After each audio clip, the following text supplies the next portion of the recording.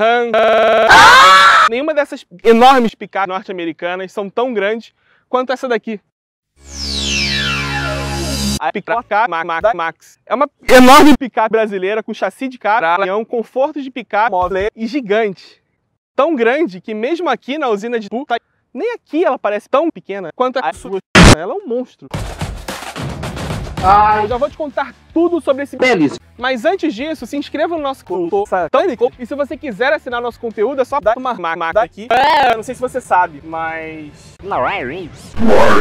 A picape Max, ela é tecnicamente um belo caralhão. Olha o tamanho disso aqui, são 7 mil metros e meio de comprimento. Então você consegue colocar ela no seu traseiro e vai sobrar espaço. Você tem ideia disso? Não sei. Eu posso subir ou descer todo o molejo de MP.